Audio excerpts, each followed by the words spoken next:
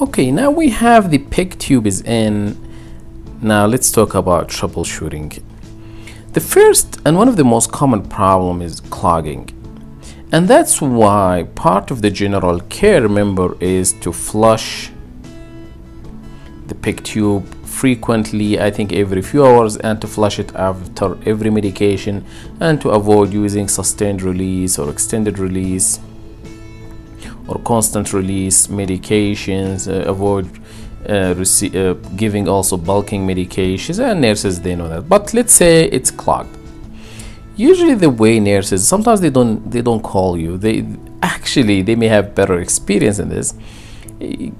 Flush first of all. I'll tell them flush the tube with 60 cc of warm saline and see if this works. If not, I may repeat it once, twice to see if that will take care of the problem. Now, if not, one of the hacks they use, and I've learned this from them actually, they use pancreatic enzymes along with sodium bicarb tablet. They crush them, they crush this and mix it with this and uh, instill it into the PEG tube and leave it there, I think, for I think maybe 20 minutes or so, and then flush it and usually this can be uh, can um, take care of the problem. And you still can repeat this until um, you take care of the problem. If trying everything and uh, it's not working you can consult the person who put it in. And the final result of course is to replace it. And we'll come to that uh, soon. The next problem is also for sure will encounter that. It's inadvertent removal for a reason or another. Whether was not fixed um, the external bolster became loose or the patient got very agitated and pulled that out. So what do you do? Here the first question how long or how old this PEG tube is in? Is it more than four weeks or less than four weeks. Why it matters? Because here tract is mature.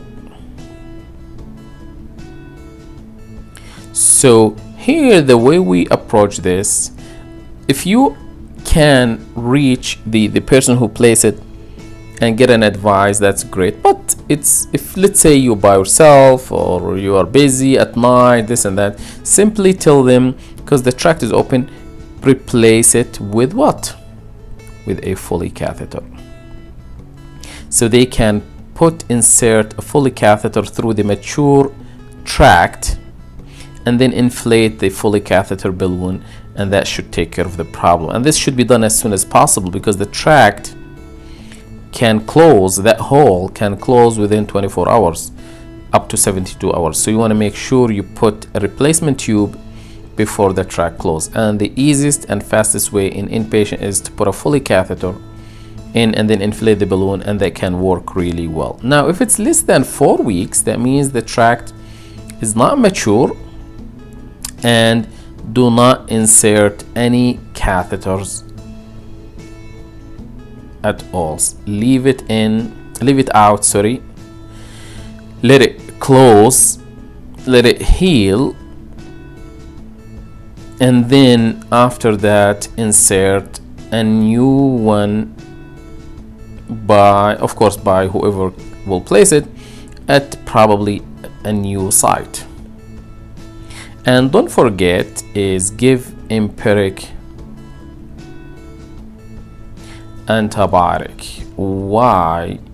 Because there is a risk of hopefully that risk will not happen of peritonitis and keep the antibiotic until you make sure there is no signs of acute abdomen or peritonitis. So that's why you should in your history know how long the PEG tube is in so you can manage. Remember, if it's mature, replace it with a Foley catheter as soon as possible. If it's not less than four weeks, leave it out. Don't try to put a new one.